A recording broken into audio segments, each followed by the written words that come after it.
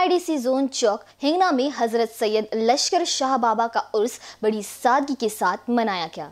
11 से 13 दिसंबर तक तीन दिनों के लिए उर्स के अवसर पर विभिन्न कार्यक्रमों का आयोजन किया गया था। कोविड 19 के कारण सैनिटाइजर और मास्क का उपयोग करके लंगर का वितरण किया गया था। इस आयोजन के लिए तकिया दरगाह कमेटी, ईद कमेटी, मस्जिद कमेटी के पदाधिकारी सदर वासिम अहमद, सदर वासिम अहमद अलवी, रिजवान मुजावर, इमरान मुजावर नज़ीर खान, शमसाद मुजावर, दरगाह मस्जिद के इमाम मौलाना कारी तनवीर, रजा शहमती, नायाब इमाम कारी अजमल साहब, रजमान बाबा शामिल थे।